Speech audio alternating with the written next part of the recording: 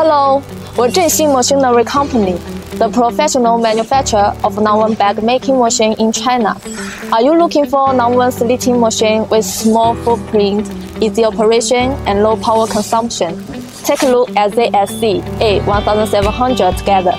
In the market, it is mainly used to slit the fabric roll for bag handles, auto loading and auto stop when fabric runs out for easy operation, auto deviation correction and auto tension control for precise slitting of fabric.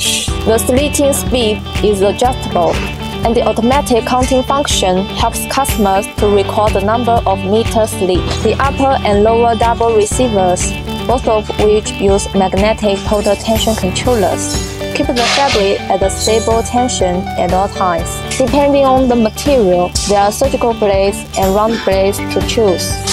Follow us to learn more about nonwoven bag making machine.